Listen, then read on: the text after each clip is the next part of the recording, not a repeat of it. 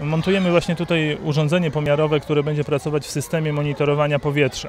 Y, to aktualnie urządzenie, które będzie tutaj za chwilę montowane, mierzy sześć wybranych parametrów y, powietrza, najbardziej krytycznych parametrów powietrza, jeśli idzie o y, zdrowie człowieka, które zostały właśnie ustalone tutaj z, z miastem Nowym Sącz i na podstawie porozumienia z miastem Nowym Sącz realizujemy właśnie taki system e, monitorowania i pomiarowy. To urządzenie działa w taki sposób, że co minutę dokonuje pomiaru właśnie najbardziej tych krytycznych e, wielkości odpowiadających za, za, za, jakość powietrza i przesyła je na serwer. Tak? Na serwerze dane są gromadzone z odpowiednimi znacznikami czasu i lokalizacji, no i z serwera e, będzie można te informacje obejrzeć o aktualnym i historycznym poziomie zanieczyszczeń w tym, w tym miejscu.